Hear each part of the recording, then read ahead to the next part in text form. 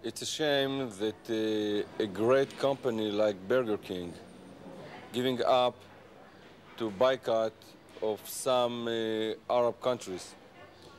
They have to learn from uh, Coca-Cola a company that about 30 years ago passed the same way. They didn't give up. And now in the Arab countries, in the Palestinians uh, towns here, and the Israeli towns here, drinking Coca-Cola.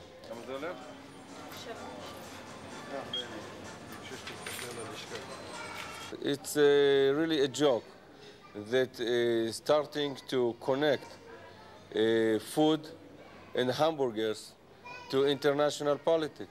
It's stupid thing to do. Uh, what uh, what a, chi- a child, 10 years old, that want, want to enjoy the hamburger, the taste of the hamburger, ca- has to do with the peace negotiations.